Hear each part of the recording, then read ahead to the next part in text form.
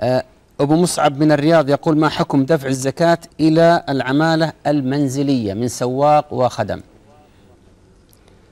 إذا كانوا مسلمين وكانوا محتاجين ولا تعتبر هذه الزكاة من أجل ترغيبهم في العمل عندك فلا بأس أن تدفعها لهم لحاجتهم وفقرهم. نعم.